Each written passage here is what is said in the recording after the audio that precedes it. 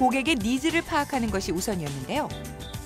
먼저 인터넷을 적극적으로 활용하는 젊은 엄마들에게 기존 수입 제품에 대한 불만과 그들이 원하는 제품에 대한 의견을 들었습니다. 온라인상의 마케팅을 통해서 실제 고객님들의 의견을 구체적으로 들을 수 있고요. 이런 부분이 저희에게 어, 고객님들의 needs를 파악하는 데 많은 도움이 됩니다. 프로슈머라 일컨는 주부 체험단을 통해 기존 자사 제품을 사용하면서 생기는 불만과 요구 사항을 면밀히 파악할 수 있었습니다. 사십줄 같은 것처럼 옆에 이렇게 좀 더 이게 여기를 폭신하게 한다든지 이렇게 하면 네네. 애들이 흔들려도 여기 머리 부분이 되어도 않으니까. 네, 안 닿을 것 아. 같아서 저희가 그동안의 제품에 대한 부분을 저희 나름대로 준비는 했지만 고객들의 평가를 듣고 그거를 체험하고 리뷰할 수 있는 그런 기회가 되는 거고요. 아이 때문에 외출이 쉽지 않은 주부들의 상황을 고려해서 아이들과 함께할 수 있는 장소를 선택해 보다 구체적인 설문 방식으로 주부들의 실질적인 의견을 담도록 노력했습니다. 애들이랑 같이 나올 수 있다는 자체가 너무 좋고요. 내가 집에서 주부로만 머무는 게 아니고 의견을 개진했을 때 뭐가 바뀐다는 거는 굉장히 보람이 있는 일인 것 같아요. 주부들의 생생한 목소리는 다시 한번 객관적인 검증 후 상품 기획팀에 전달됐고 제품 개발에 중요한 자료로 사용됐습니다. 이런 과정을 통해 제품에 반영된 대표적인 아이디어가 바로 인디케이터.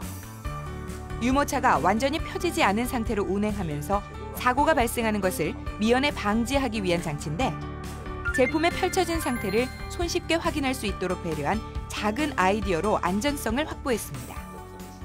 작은 부분이지만 이게 유모차가 안전 제품이기 때문에 가장 중요한 부분이라고 생각하고 어, 적용을 시켰습니다.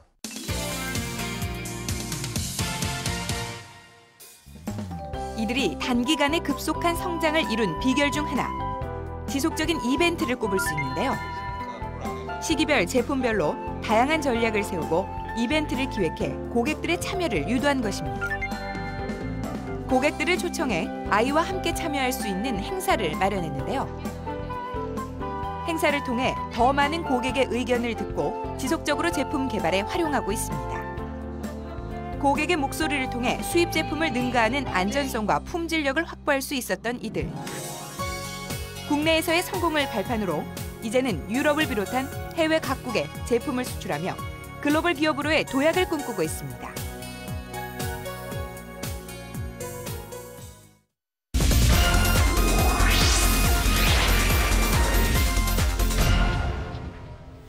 일하는 엄마들의 가장 큰 고민은 육아죠.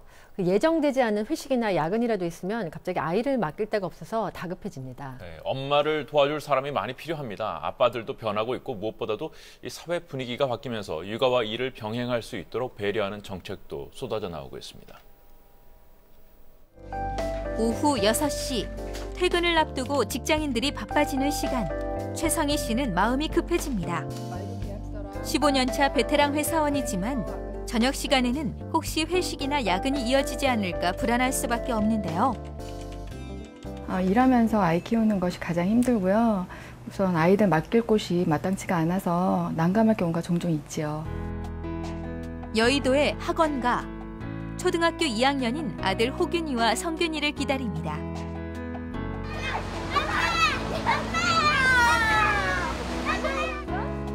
학교가 끝나도 마땅히 보호해줄 사람이 없어 하루에도 서너 군데씩 학원을 다녀야만 하는데요.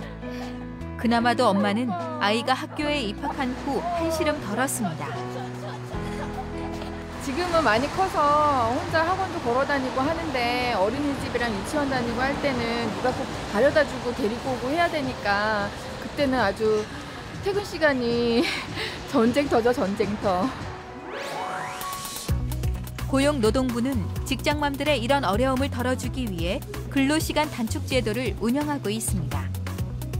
만 6세 이하 자녀를 둔 부모가 사전에 신청서를 제출하면 하루 서너 시간 늦게 퇴근하거나 일찍 퇴근할 수 있는 제도입니다.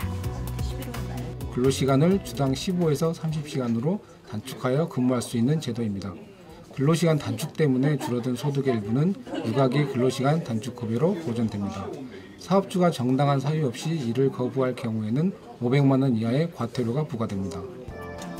일하는 시간이 줄어드는 만큼 임금도 줄어들지만 육아휴직에 비해 감소폭이 적고 경력 단절을 방지할 수 있는 장점이 있습니다.